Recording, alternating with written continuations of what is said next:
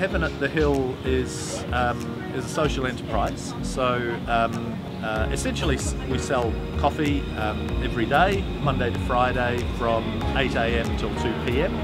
And uh, the the idea is to provide employment pathways for uh, those who might find it hard to get a job.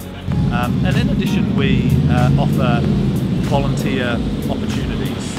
It's also a, a, community space as well, so Very people much. Feel involved in the, in the space. It's not just coming to work. Yeah. Um, also, that connects with the breakfast program. There's people that come through and they'll grab a coffee as well.